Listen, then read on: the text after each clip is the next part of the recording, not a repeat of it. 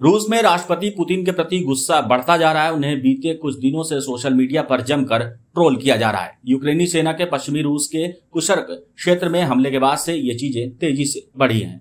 New York times के मुताबिक social media पर रूसी जनता की भावनाओं का विश्लेषण करने वाली कंपनी फ़िल्टर लैब्स एआई ने कहा कि कुशर्क में यूक्रेनी घुसपैठ के बाद पुतिन की लोकप्रियता में गिरावट आई है।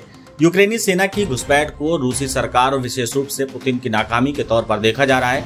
रिपोर्ट में बताया गया कि रूस की सरकारी मीडिया ने रूस यूक्रेन जंग से जुड़ी घटनाओं में पुतिन की छवि सकारात्मक रूप में पेश करने की कोशिश की। लेकिन वे इसमें नाकाम रहे हैं। सोशल मीडिया पर रूसी नागरिकों ने खुलकर नाराज़गी जताई है। लोग पुतिन की युद्ध नीतियों को फेल बताकर उनसे इस्तीफा मांग रहे हैं।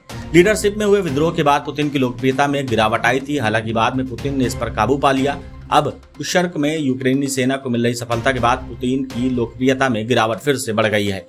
यूक्रेन ने ढाई साल पहले पहली बार छह अगस्त को रूस पर पलटवार करते हुए उसके इलाके में घुसकर हमला किया था।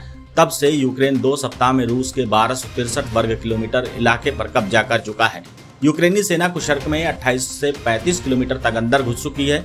अब तक यूक्रेन ने कुशर्क में बानवे गाँवों पर कब्जा कर लिया है।